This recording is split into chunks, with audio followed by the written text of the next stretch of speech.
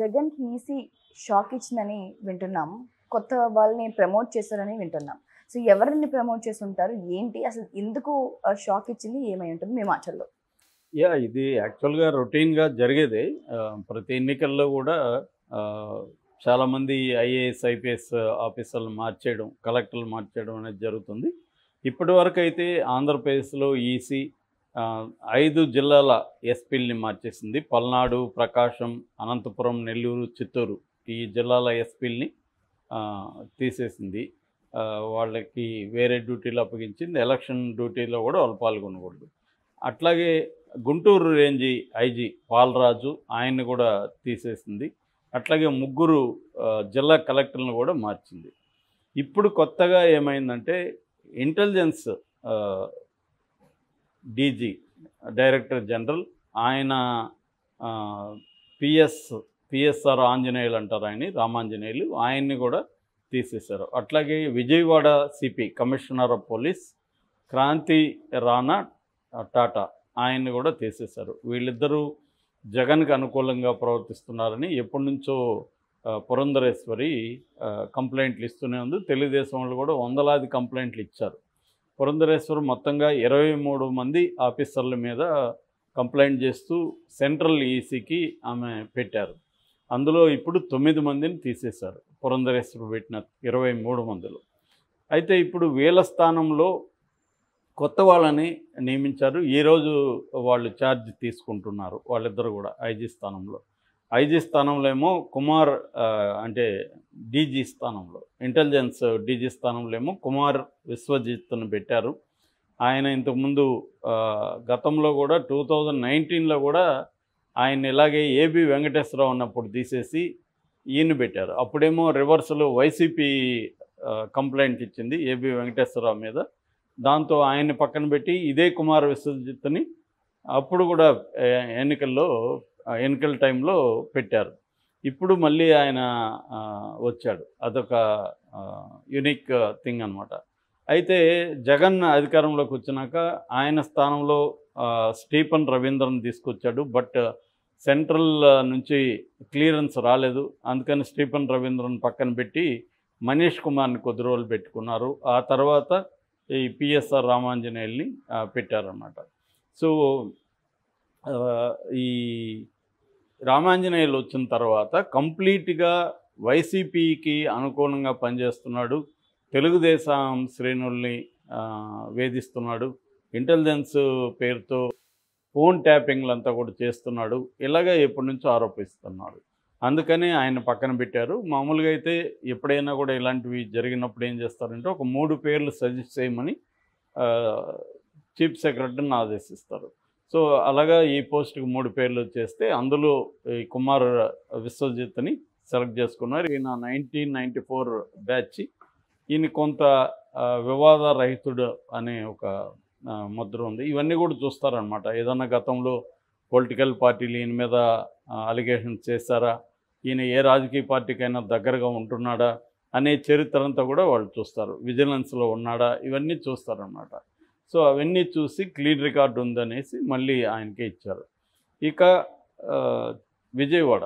విజయవాడ సిపిగా ఉన్న క్రాంతి కుమార్ రాణా క్రాంతి రాణా టాటా కూడా తెలుగు తెలుగుదేశం శ్రేణుల మీద విపరీతంగా దాడులు చేయించడం కేసులు పెట్టించడం ఇవన్నీ చేస్తున్నాడు. మొన్న జగన్ మీద రాళ్ళు పడిన కేసులో కూడా బోండా ఉమ్మాని ఇరికించడానికి ఆయన సాయశక్తులు కృషి చేశాడనే ఆరోపణలు ఉన్నాయి.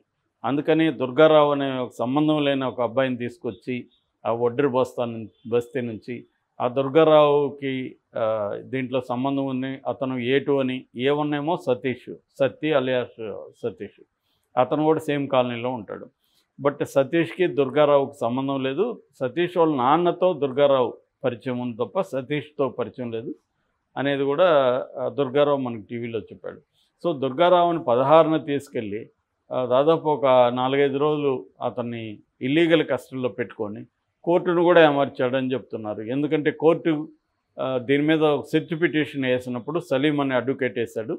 వేసినప్పుడు కోర్టు ఒక సెర్చ్ కమిటీని ఏర్పాటు చేసింది. ఆ సెర్చ్ కమిటీ వెళ్ళి వెతికితే ఎక్కడా లేదు. మామూలుగా పోలీసులు ఏం చేస్తారంటే ఇల్లీగల్ కస్టడీలో ఇటువంటి కేసుల్లో ఏం చేస్తారంటే పోలీస్ స్టేషన్లో పెట్టుకోరు వాళ్ళు.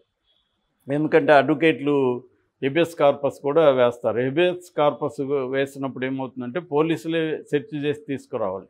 లేదా సెర్చ్ కమిటీని ఏర్పాటు చేసినప్పుడు కోర్టు ఒక కమిటీని అపాయింట్ చేస్తుంది. ఈ కమిటీ వెళ్ళి అన్ని పోలీస్ స్టేషన్ని చెక్ చేస్తుంది. అందుకని వాళ్ళు తెలివిగా ఏం చేస్తారంటే ప్రైవేట్ గెస్ట్ హౌస్లో రహస్యంగా పెట్టేస్తారు.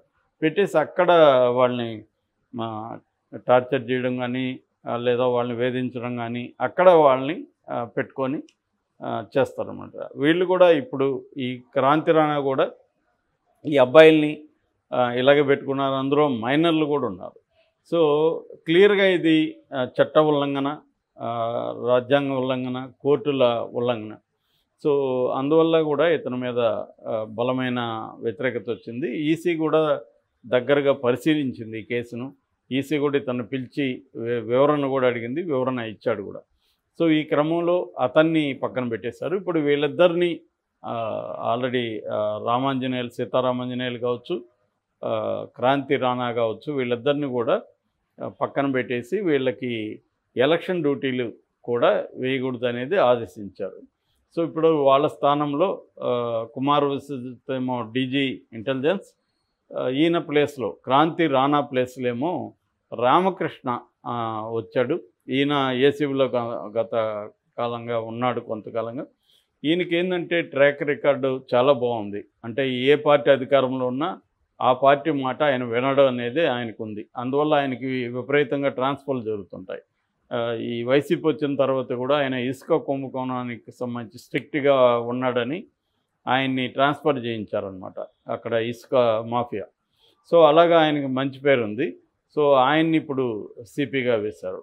సో దీనివల్ల ఎవరికి నష్టం ఎవరికి లాభం అనేది చూసుకున్నప్పుడు ఖచ్చితంగా వైసీపీకి నష్టం. ఎందుకంటే వైసీపీకి అనుకూలమైన intelligence DG and Vijayawada CP ఉన్నప్పుడు వైసీపీకి ఎంతో కొంత మేలు ఖచ్చితంగా జరుగుతుంది. ఆ మేరకు వైసీపీకి ఇప్పుడు నష్టం అని చెప్పచ్చు. అయితే వీళ్ళేమో ఈ వైసీపీకి కావాలని అయితే నష్టం చేయరు. బ్యాలెన్స్గా ఉండే అవకాశం ఉంది. ఆ మేరకు కొంత డెమోక్రటిక్గా ఎన్నికలు జరగడానికి ఇటువంటి చర్యలు అయితే అవసరం. ఇది దేశవ్యాప్తంగా కూడా అవసరం నిజానికి. బీజేపీ గవర్నమెంట్ ఉన్న చోట్ల ఈ పని చేయట్లేదు. స్టేట్ గవర్నమెంట్లు బీజేపీ ఉన్న చోట వాళ్ళకు అనుకూలమైనగానే ఈసీ ప్రవర్తిస్తుంది. ఇప్పుడు ఓవరాల్గా ఈసీ తీసుకున్నప్పుడు మోడీకి అనుకూలంగా ప్రవర్తిస్తుంది. మొన్న మోడీ డెలిబరేట్గా యాంటీ ముస్లిం స్పీచ్ ఇచ్చినప్పుడు కూడా మోడీ మీద కనీసం నోటీసులు కూడా పంపించలేదు చర్య తీసుకోలేదు. అంటే ఈడీ క్లియర్గా ఈసీ క్లియర్గా మోడీకి అనుకూలంగానే ఉంది. దానికి కారణం కూడా ఆబ్వియస్. ఎందుకంటే ఈసీలో ఉండే ముగ్గురు ఎలక్షన్ కమిషన్ ఆఫీసర్ని మోడీ అధీనంలో ఉండే కమిటీ దాంట్లో మోడీ ఉంటాడు కేంద్ర మంత్రి ఉంటాడు అపోజిషన్ లీడర్ ఉంటాడు. కానీ మెజారిటీ వీళ్ళిద్దరు కాబట్టి వీళ్ళిద్దరు చెప్పినట్టే అవుతుంది. ఫైనల్గా మోడీ ఎవరిని అనుకుంటే వాళ్ళనే పెడతాడు. కాబట్టి మోడీ పెట్టినప్పుడు ఆయన కంట్రోల్లో వీళ్ళు ఉంటారు కదా. సో ఇది జరుగుతుంది అందువల్ల మోడీకి అనుకూలంగా ఉంది ఈసీ బట్ ఇక్కడైతే ఆంధ్రప్రదేశ్లో ఇప్పటివరకు కొద్దిగా బ్యాలెన్స్డ్గానే ఉన్నట్టుగా మనం చెప్పుకోవచ్చు. అయితే పురంధేశ్వరి చెప్పిన వాళ్ళని తీసేస్తున్నారు అనేది మాత్రం క్లియర్ కనబడుతుంది. ఆ మేరకి కూటమికి మేలు జరుగుతుంది. ఎందుకంటే చంద్రబాబు బీజేపీతో పొత్తు పెట్టుకోవడానికి రెండు కారణాలు. ఒకటి పోల్ మేనేజ్మెంట్లో తనకి ఉపయోగపడుతుంది. యంత్రాంగం అంతా కూడా జగన్కి అనుకూలంగా ఉండకుండా కొంతవరకు బ్యాలెన్స్ అవుతుంది అనేది చంద్రబాబు ప్లాను. అందువల్ల గ్రౌండ్ లెవెల్లో పోల్ మేనేజ్మెంట్ ఈజీ అవుతుంది. అధికార యంత్రాంగం నిరంకుశత్వంగా వ్యవహరించదు అని ఆయనకి ఐడియా ఉంది. అందుకని అది ఒక రీజన్. రెండో రీజన్ మళ్ళీ బీజేపీ అధికారంలోకి వస్తుంది కాబట్టి తనని వేధించకుండా రేపొద్దున తనని జైలుకి పంపించడం అవన్నీ చేయకుండా ముందు జాగ్రత్తగా ఆయన పొత్తు పెట్టుకున్నాడు ఈ రెండు కారణాలతో. సో ఫస్ట్ కారణం ఆయనకి ఇప్పుడు హెల్ప్ అవ్వడం మొదలుపెట్టింది. అయితే ఈ పరిణామాల పట్ల తెలుగుదేశం క్యాంప్లో ఫుల్గా ఆనందం అయితే లేదు. ఎందుకంటే వాళ్ళకి ప్రధానంగా సిఎస్ని మార్చాలి. అట్లాగే డీజీపీని మార్చాలి. ఎందుకంటే ఈ పోలీస్ ఆఫీసర్లు ఎవరిని మార్చినా ఫైనల్గా డీజీపీ చెప్పినట్టు వీళ్ళు వింటారు. అట్లాగే సిఎస్ చెప్పినట్టు కలెక్టర్లు కావచ్చు మిగతా అధికార యంత్రాంగం అంతా వింటుంది.